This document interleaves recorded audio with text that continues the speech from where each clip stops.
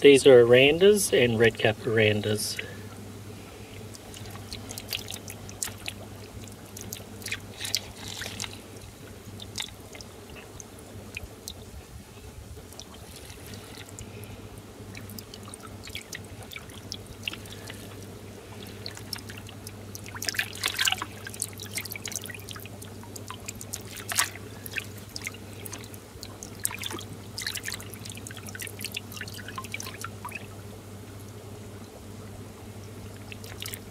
This fish is still full of many eggs.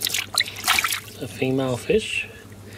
I've finished breeding them now for the year and so they'll be going back outside into a pond to recover until we use them to breed next year. You can faintly see on this male fish on his gill plate the shiny white spots indicate he is a male.